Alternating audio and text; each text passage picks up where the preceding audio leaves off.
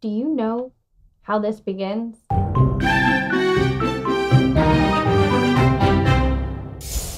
The main character, Raskolnikov, is a student and he is losing his mind. He's kind of going, he's a mess. And so far, I'm kind of with him. And then he goes to a pawnbroker's and he dealt her another and another blow with the blunt side of an axe. He kills her. He kills this woman because he overheard people talking about how awful she is. I'm not going to kill somebody. I'm not killing anyone. Probably for the best. So I think some ground rules are in order. First, no murdering and, and no kidnapping. Nothing major. No really major crimes. I- Isn't the book called Crime and Punishment? How are you going to have punishment with no crime? Ah, I did not say no crime. I said no major crimes that are going to land me in serious jail. Okay, I'm skeptical. I know you are. Calm down. All right, rule two. Only books that I haven't read yet. Uh, there are so many great classics that I just haven't had time for. They weren't on a syllabus, and I think it'll be more authentic. Rule three.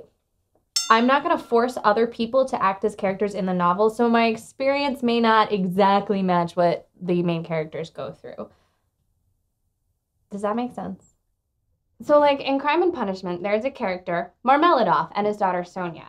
They live in terrible conditions, are very poor, and so far they seem to serve as kind of a foil or conscious for Raskolnikov. You're being a dork, so stop. So basically, what I'm saying is, I'm not going to make anyone in my life be those two characters. So it's organic for me and and for them as well. So nobody is being forced into a role. Rule four, last rule: no interfering. That means that I'm going to be going through this alone. It's just me. Get it? Got it. Good. With those rules out of the way, I think our next step is to pick crime. Uh, Raskolnikov obviously premeditates his action, so I have been doing that too.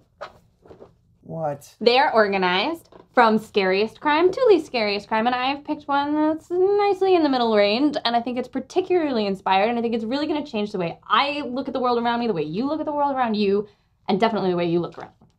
Ready? I'm going to steal a bottle of top coat from the student union. No, Alice, you can't do that. Why not? Is that too dangerous? I, I thought it was a little bit much. So I could No. find something less scary. No, seriously. Let's scoot over. Okay. You know what you should do? You know what? Steal a test. Not the answers, just the test. From Cutler's class. He'll kill me. Only if he catches you. Look, he's the toughest teacher I know. Right? Everyone in that class is practically failing anyway. Uh. so, okay, yeah, yeah, yeah, we get it. Except for you. Early American history should consume no man's life the way that course has. You'd be like helping us all out. You'd be like our hero. I could get expelled.